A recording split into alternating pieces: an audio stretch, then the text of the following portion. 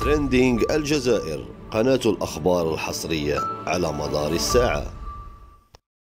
السلام عليكم. أعلن وزير الصناعة فرحات آيت علي يوم السبت بالجزائر العاصمة بأن استيراد السيارة أقل من ثلاثة سنوات الذي أدرج في قانون المالية 2020 قد تم تجميده. وصرح الوزير المنتدب للصحافة على هامش الندوة الوطني للمؤسسات الناشئة التي افتتحت يوم السبت بالجزائر العاصمة. إن استيراد السيارة أقل من ثلاثة سنوات قد تم تجميده. لا نريد استيراد هياكل سيارة مهترئة. ولا نريد أيضا تشجيع السوق الموازية للعملة الصعبة. وأوضح الوزير أن السيارة أقل من ثلاثة سنوات يتم شراؤها من أوروبا. تكون قد صارت عشرين ألف كيلومتر على الأكثر. وهذا ما يجعل هذه السيارة الباهظة الثمن بالنسبة للمستهلك الجزائري ذو الدخل المتوسط. وأضاف قائلا الآن إذا كانت نيتنا شراء سيارة أقل من عشر سنوات بدلا السيارة أقل من ثلاث سنوات مثل ما كان معمول به في الماضي. فإن هياكل السيارة المهترئة لا تهمنا. عندما تم إدراج هذا الإجراء في قانون المالية 2020